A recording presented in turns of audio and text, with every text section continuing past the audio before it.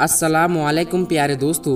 आज की वीडियो में हम आपको रमज़ान के हवाले से एक ऐसा करिश्मा बताने जा रहे हैं, जिसको सुनकर यकीनन आप बहुत ज़्यादा हैरान रह जाएँगे और सोचेंगे, वह रमज़ान का क्या करिश्मा है? आज की वीडियो में हम आपको सात साल के लड़के का एक ऐसा वाक्य बताने जा रहे हैं, जिसको सुनकर आपका ईमान ताज़ा हो जाएगा। तो दिल थाम के इस वीडियो को सुनिए और जल्दी से आप इस वीडियो को एक लाइक करके चैनल को भी सब्सक्राइब कर ले। क्योंकि हम आपके लिए बहुत ही प्यारी प्यारी वीडियो लाते रहते हैं। प्यारे दोस्तों, एक सात साल का छोटा बच्चा था, जो जुमे की नमाज़ पढ़ने मस्जिद में गया। जुमे की नमाज़ के बाद इमाम साहब रमज़ान और रोज़े की फजीलत बयान फरमा रहे थे। ये बच्चा भी रमज़ान और रोज़े की फजीलत को बड़े तवज्जो से सुन रहा था और उसके दिल में भी ये ख्याल पैदा हुई कि वो रोज़ा रखेगा, वो भी सहरी करेगा और वो भी इफ्तारी करेगा, वो भी अल्लाह ताला की इबादत करेगा। प्यारे दोस्तों, अभी ये बच्चा सिर्फ़ सात साल का ही है। आप इसके अंदर का जज्बा देखे, रमज़ान के रोज़े की मोहब्बत देखे और यही हाल रमज़ान शरीफ में तमाम बच्चों का होता है। दोस्तों, वो बच्चा ये बयान सुनने के बाद अपने घर जाकर अपनी अम्मी से कहता है, अम्मी, मुझे भी रोजा रखना है, आप मुझे शहरी में उठा देना। लेकिन वो माँ थी, वो जानती थी, अभी मेरा बच्चा बहुत छोटा है, अभी इस लायक नहीं है कि वो रोजा रखे। लेकिन वो बच्चा था वो बार बार जिद किए जा रहा था कि मुझे रोज़ा रखना है, अल्लाह ताला की इबादत करनी है। और जैसे ही रात हुई तो वो फ़ौरन सो गया। लेकिन शहरी का जब वक्त हुआ तो वो बच्चा ना उठ सका। और बच्चे की माँ ने उसे नहीं उठाया। माँ ने शहरी किया, नमाज़ पढ़ी और कुरान की तिलावत में लग गई। फिर जब सुबह हुई, जैसी ही सूरज की रोशनी उस बच्चे के मुँह पर पड़ी तो वो उठ गया और उठते ही ये बात कहने लगा। माँ तुमने मुझे शहरी के वक्त क्यों नहीं उठाया?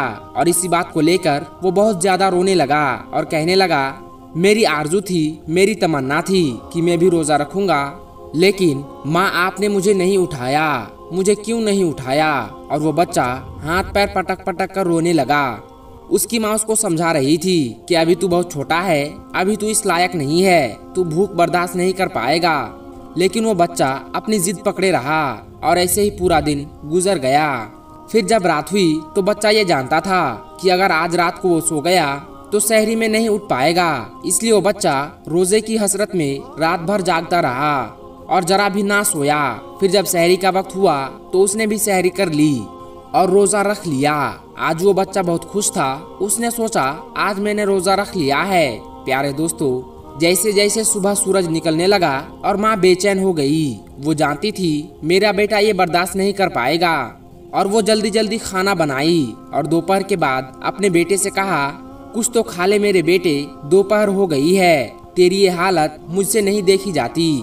तब बच्चे ने कहा, माँ, रोजा तोड़ना भी गुनाह होगा। तब माँ बोलती है, तेरा गुना मैं अपने सर लूँगी। मेरे बेटे कुछ तो खा ले। बेटे ने कहा माँ, मैंने सुना है, जन्नत में हर एक रोजेदार जाएगा और हसर के दिन जलवायु पर वर्दिगार पाएगा।